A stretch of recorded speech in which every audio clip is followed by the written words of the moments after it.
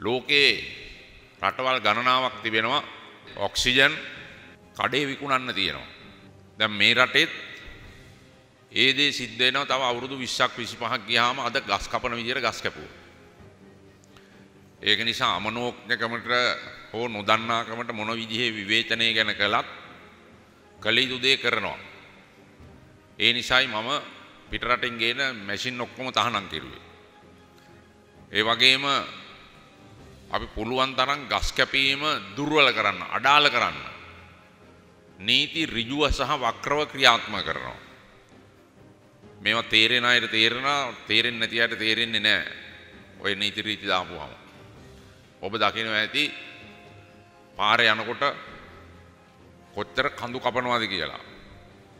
ඔය නුවර බදුල්ල කෑගල්ල ප්‍රදේශවලත් මේ රටේ මධ්‍ය කඳු කරේත් මොරේලිය ඇතුළු විශාල පස් කඳු කපනවා සංවර්ධන වැඩවලට පස් අවශ්‍යයි කියලා. නමුත් ලෝකයේ නව තාක්ෂණය තුල කඳු කපන්නේ නැතුව පස් ගන්නේ නැතුව වෙනත් තාක්ෂණික ක්‍රමවේදයන් තුල වෙනත් මූලික සම්පත් හොයාගෙන තාක්ෂණික වශයෙන් කාර්මික ලෝකේ ප්‍රධාන වශයෙන්ම රටවල් වලේ ඉදිකිරීම සහ සංවර්ධන කටයුතු කෙරෙනවා.